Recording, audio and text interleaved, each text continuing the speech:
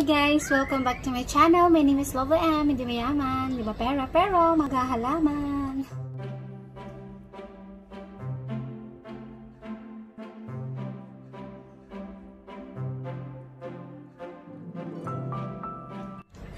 So guys, eto, nandito tayo sa ano, um, mini mini garden. Ayan. As you can see, may background. May mint tayo, aloe vera, and cactus. So, ngayon, yan lang muna yung mga halaman ko ngayon. And, eto, may pinapropagate si Mother Earth. Nagpropagate siya ng fortune plant. Sana mabuhay sila at magka-roots. Tapos, hindi ko alam kung anong tawag dito. And, hindi ko rin alam kung anong tawag din dito sa mga setas na sa kanya, tsaka sa mga yan. Kasi, sa totoo lang, baguhan pa lang ako sa pag-garden. Tapos, ito yung saluyot na pinopagate ko. Ayan, tumutubo na sila. Ayan, o, oh, ba diba? Nagulam ako nung minsan, tapos pinopagate ko siya para magkaroon na tayo ng sariling tanim ng saluyot at hindi na tayo bili ng bili. May gusto lang akong i-share kasi, di ba, uh, yung kapitbahay namin, kung babalikan nyo yung vlog ko nung una, ano, yung part 2, nagbigay yung kapitbahay namin ng aloe vera, bali tatlo. Dalawang healthy at saka dalawang isang malapit ng madeds. Ngayon, um, trinay namin siyang ilagay sa harap kasi doon talagang tamadong tamado ng sunlight. Pero napansin ko, parang lumalala. Mas lalo siyang namamatay. Kaya yung ginawa ko guys, kakaripat ko lang siya, siya kanya, siya kanya. kakaripat ko lang sa kanya. So, tingnan natin. Eto. Ito siya, super nag-brown na siya hanggang sa dulo. Ayan oh. Ito na lang yung natirang parang green niya. Kita nyo? Ayan. Yan, yung, yan na lang yung natirang green. So, hanggang sa roots, sa may bandang roots, parang ano na siya, namamatay na talaga siya. Ganito na yung itsura niya, oh, sa may bandang roots. May natanggal na rin nga akong mga leaves. Ayan, ganito na siya. Buti na lang nakita ko. Kaya, trinay ko siyang irepat. Kung maaalala nyo, itong pasong to, yung laman nito yung fortune plant leaves. Hindi siya nabuhay, hindi siya nag-survive. Hindi ko kasi alam kung paano buhayin yung mga ganun. So, itong mga to, nadagdagan na siya, oh, malusog na siya, ba diba? Kasi sa shaded ko siya nilagay. So, dapat pala sa shaded. Tapos ito, ayan. May mga bagong ano na siya. Tanim. Ito, ang lulusog nila kasi andito lang sila. Shaded kasi dito eh. May sunlight sa umaga tsaka hapon. Pero na totally natutok. Shaded pa rin naman siya. So, itry natin buhayin to. Ia-update ko kayo guys kung ano yung magiging journey nitong aloe vera na to. Sana mabuhay pa. Sana mag-survive. Sa mga nag, ano, o matagal nang nag-aalaga ng plants, aloe vera, pa-comment naman kung ano yung dapat gawin para mag-survive tong aloe vera na to. Sayang naman kasi kung mamatay siya. Ang lambot-lambot na niya, oh. Tapos ito na lang yung parang green. Yan na lang. Sana mabuhay siya talaga. Unlike nitong mga to, oh, ang lulusog nila. Kailangan ko na rin ilipat to sa mas malaking paso. Bibili ako ng paso or maghahanap dyan magpipintura na lang ulit ako. Pati ito kailangan ko na rin ilipat. Paghiwalayin ko na lang sila. So ayun nga guys um, samahan nyo ko at abangan natin kung paano yung magiging um, proseso or journey nitong aloe vera na to. Kawawa naman sa baby aloe. Sana mabuhay siya. Oh my gosh i-update ko kayo sa susunod na araw kung ano ang mangyayari kung magsusurvive ba tong aloe vera na i-touch or hindi. Okay? Hi guys! Ayan, nalagdagan na yung aloe vera. Dati dalawa lang. Ito, nagka-baby siya. Ayan, dumami sila. Pati ito, nagka-baby din. Nilipat ko sila, nilipat ko yung mga babies. Wow! Ang dami na nila. Ang dami ng aloe vera. Ito, bubuhayin natin to. Ayan. Tsaka ko na siya lagyan ng mga pebbles. Pag nabuhay na siya, i-revive natin.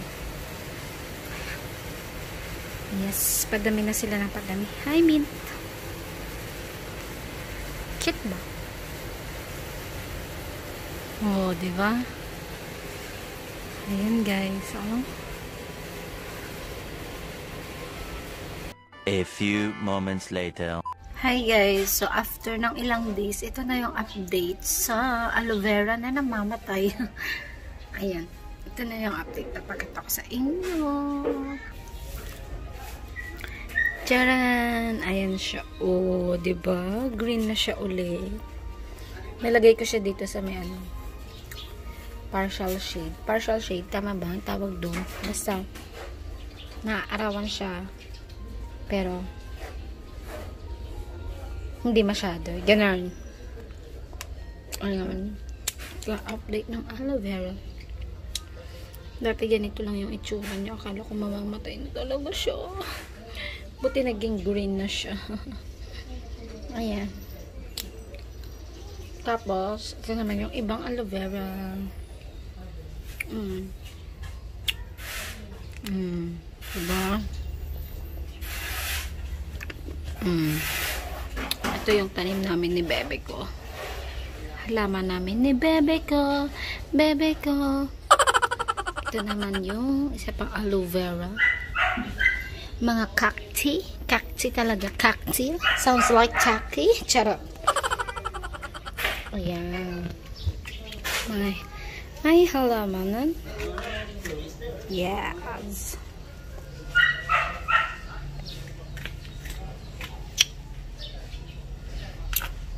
ano nagblubloom na naman o oh, mamaya um, bubuka na yan bubuka ang bulaklak kasi ito puro kakti. Ayan o bumuka na yung bulaklak nito. Galing. Tapos ito yung napulot namin cactus. O napulot namin yan na hindi namin ninakaw yan oh, tumutubo may, may ano to flower? Flower ba yan? Or ano, panibagong ano, sibol. Tapos ito naman yung snake plant na hinini Mudra bells sa kapitbahay. At another another mga halaman na hiningin sa mga kapitbahay. Hi!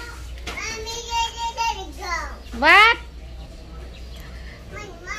Wait, wait. Papunta na ako dyan. At yung pinapropagate namin fortune plant, sana mag, mag-root siya, no? Ayan, basta yan yung mga halaman na hiningi sa mga kapitbahay. Ayun. Tapos nagre-ready kami ng dragon fruit para sa uh, moon cactus.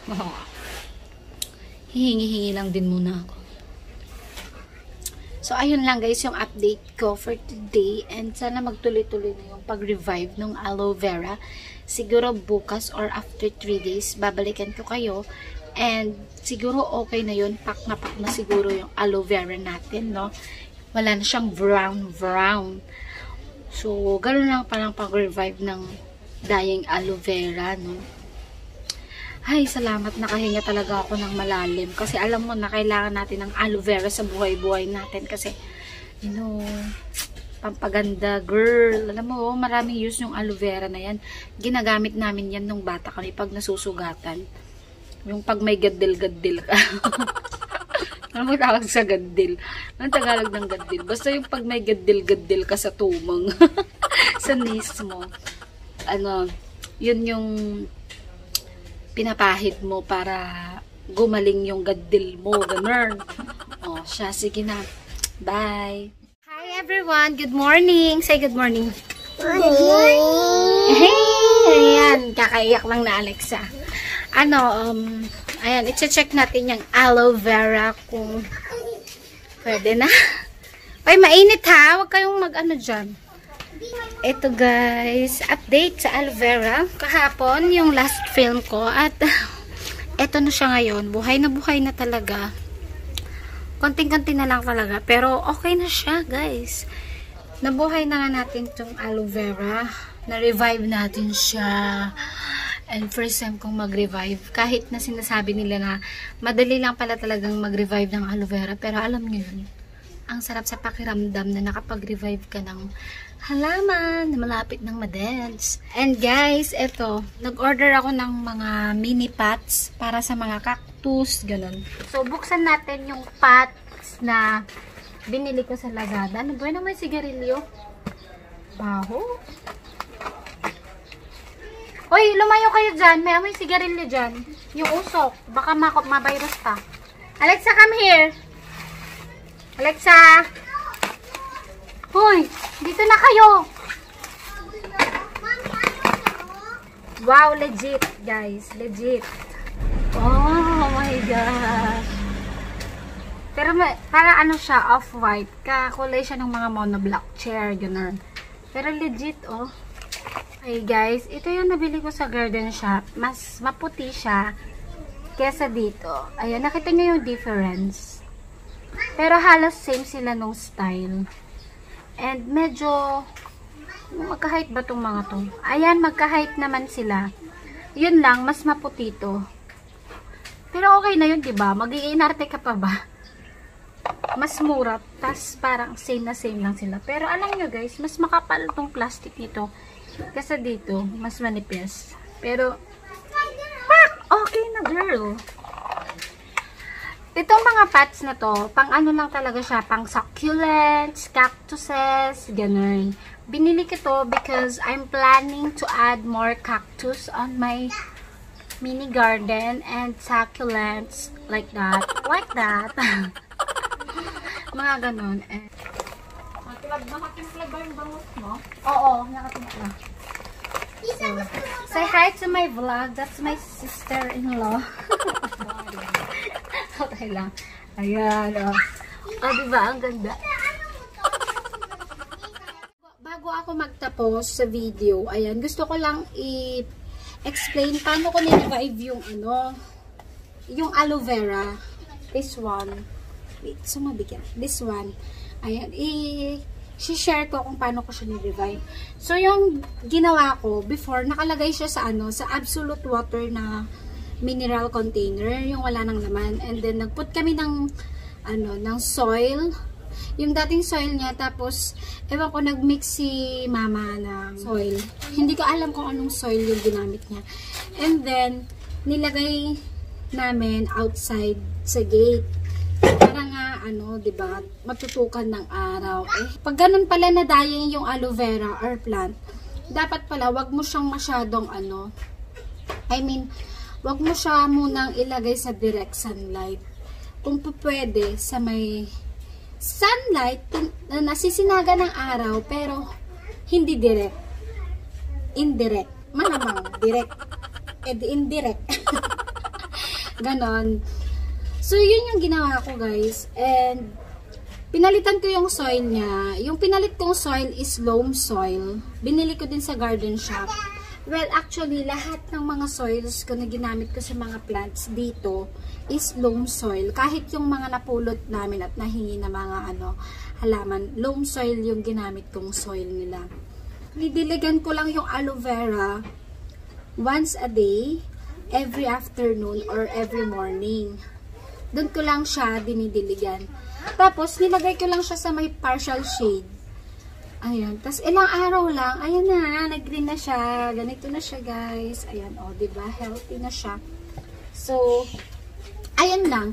I hope nakatulong ako sa inyo kung curious man kayo kung paano mag-revive ng aloe vera plant na malapit ng madeds. Ganon. Tingit ko lang din tong cactus. Oh my gosh. Ililipat ko na tong mga to sa nabili kong ano, mini pot from Lazada.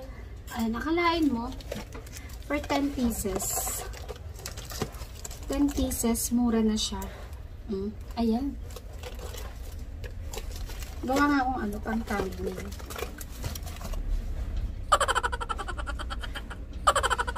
So, ayun nga guys. Sana nakatulong ako sa inyo kung paano mag-revive nga ng aloe vera plant. And nagkaroon din kayo ng tips kung saan pwede bumili ng mga mini pots, ganun. Feeling ko hanggang dito na lang tong video na to guys. Uh, kung bago ka lang sa channel ko, welcome to my channel. Please do subscribe on my channel and click the notification bell para notified ka sa videos ko. Kung nagustuhan mo tong video na to, please do like and share this to your friends na mahilig din maghanaman. Thank you for watching and see you on my next one. Bye!